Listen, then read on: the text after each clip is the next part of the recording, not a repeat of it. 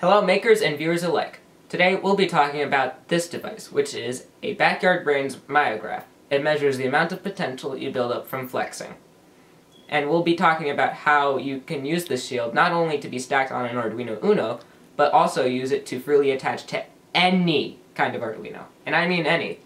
For today, we'll be using the Arduino Metro Mini, which you can buy on Adafruit.com. It's about $15, about half the price of an Arduino Uno. Now, what exactly does the Backyard Brains myograph do? Well, it measures the amount of muscle activity you produce. So if I were to flex like this, then it would measure high levels of muscle activity. And if I were to relax it, it would show low levels. So, for those who want to keep track of your muscle activity and how well you're exercising, then you could just hook yourself up to this. For more information on how this works, check out Backyard Brains, which will be in the links in the description below.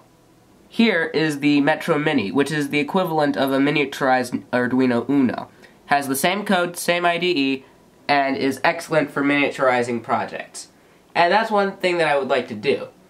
As you can see, the Metro Mini can still take data like the regular Arduino Uno using the spiker shield, and it gives data that accurately measures the signal from your muscle. Now, if you were to add an OLED to this circuitry, you wouldn't have to use a computer to read the value of the myograph. All you would have to look at is an OLED, like seen here.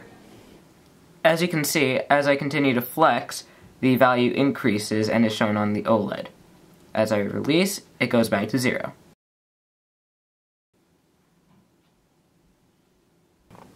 Here's how you connect your shield. Take a red wire like this, and use it to plug into the 5 volt pin on your Metro Mini, and then hook it up to the corresponding pin on your on your myograph shield. This can be done by using an Arduino Uno as a reference, since that's the one it's made for. Next, do the same with the ground pin.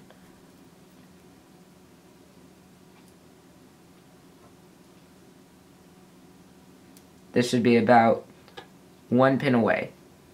When the powers are hooked up, the green LED should light up as seen here.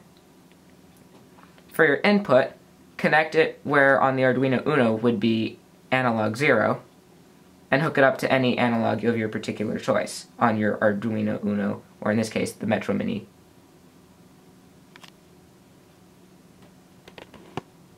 To connect your OLED to your Arduino, first take a red wire for your power and attach it to the 5 volts pin on it. Then, attach the red pin to the VCC pin on your OLED. It should be labeled on your device.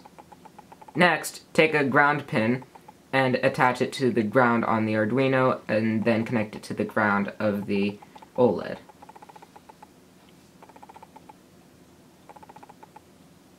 These should line up horizontally with each other on the same pins which we connected earlier, so you can use those as references to keep track.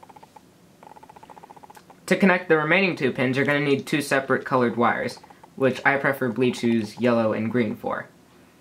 First, you're going to need to connect a data pin. For that, use a yellow wire to follow by my color code. So, data can be connected using A4 on the Arduino.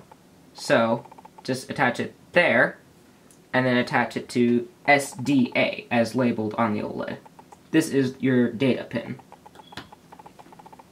Next, take a green wire and use that as your clock pin, which you will attach to A5 on your Arduino.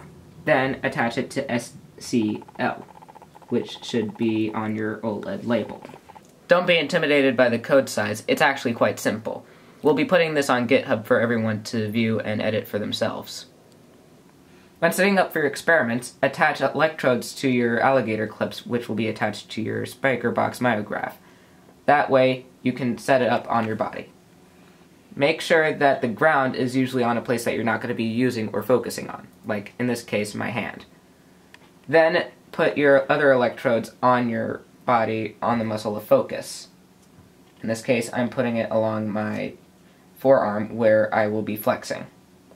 As you can see, it's not just limited to your forearm, it's also useful for all of your arm, and you can try experimenting with other parts of your body, like your legs.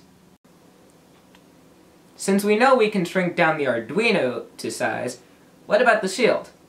Wouldn't it be wonderful to have a device this powerful to be about the size of this, such that you can use it for complex prosthetics, or perhaps for controlling a robot without having a physical control, only your hand to do it.